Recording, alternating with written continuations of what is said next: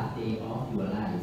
And because Ajahn do a lot of work and uh, establish a lot of uh, organization, how can Ajahn prepare about the last day of your life and how to uh, prepare for uh, manage your organization and your wisdom that you have a lot to the community. And the second answer is from my uh, student, and that uh, is your Ajahn fan club, and he he is a new generation that uh, fighting a lot for the better world, and they have a challenge a lot, and he would like to ask for Ajahn wisdom something to talk with the new generation uh, uh, teenager that challenge with the uh, not easy life and he would like to find a better world but he would like to ask Ajahn Wisdom to support him or give the way to use the new world life of these two questions. very kind of you to be interested in person like me. I'm now reaching the age of 90 and I know that I will pass away soon, sooner than later. So this is what the Buddha teaching is very important for me.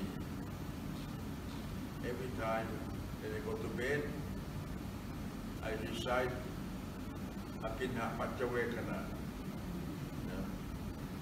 That uh, old age is catching up with me, death is showing up with me. I shall soon die and I shall be reborn, hopefully in a better state. But that is beyond my control. But in this world, in this society, if I may say so, I try to follow Ajahn Chah's example. What Ajahn Chah did in the, the, the Sangha, the Bhikkhu Sangha, I have my own lay Sangha, and I have established quite a few organizations. The International Network of Engaged Buddhists is one, and I'm happy that this is not only Thai, we have a lot of friends Buddhist, Sri Lanka, Taiwan, South Korea, and some of them are much better than me. And they are together, I think, will lead a kind of small Buddhism to this world. Because this world needs something that non-violent, compassionate, at the same time social justice. And happy that I'm involved with INEB and I feel that INEB will carry on without me.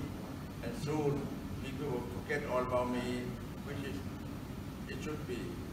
And within the country, as you have seen, uh, the ashrama, the place is the place where we imitate the people Sangha. But you stay there, like Aram, Guru Sri, people can go there and meditate. At the same time, go there, have discussion, have out, kind of life. And I think the ashram is going on for much longer than I did. And I think it contributes something small for people around the world. Even the Tibetan who prepare uh, for their independence have come to meet at, at our place. Uh, the Burmese uh, come to place uh, when the, the, the Tamil were persecuted by the Sinhala, they came to, at our place. Even right now, we, we have the place refuge for those got away from persecution in Cambodia. So it's a place where people seek refuge and uh, we don't we don't push them to be Buddhist. but we should ask them that to be there, perhaps learn them to, to know themselves, perhaps have time for meditation in whatever form. Perhaps after leaving the ashram, they may be a better human being and not only care for themselves, only care for society. I just mentioned one or two. I have a few other organizations and I'm very happy. A lot of young people have been around me and I have learned so much from the young people. If I mention one name, Netiwit, uh, he's very well known now in this country. I knew him when he was uh, a, a, a, school, school boy, but he seek something not only for social justice, he also seeks something for the mysterious world. I, I sent him to be in India with the uh, Tibetan Rinpoche at Deer Park, nine months. Changed him tremendously. Not only did he learn English, he learned something about Buddhism. He came back here, he now graduated from Buddhism science faculty. At the same time, tried to learn Sanskrit from the uh, uh, Art. And he's now known around the world. Contact with Joshua Wong Hong Kong. He went right to uh, Noam Chomsky in America.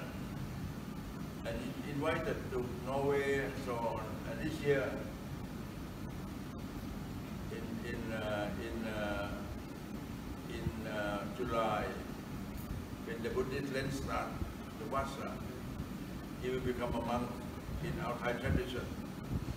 But he doesn't want to become a monk only for three months. He wants to become a monk for one year. And he wants to study, practice meditation, practice seriously.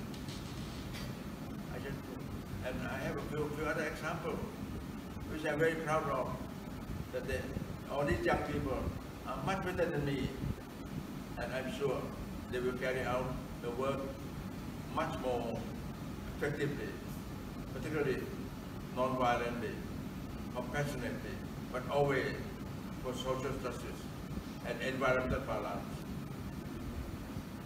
Thank you for asking about me. I did. I summarized my, my life in a nutshell. Thank you.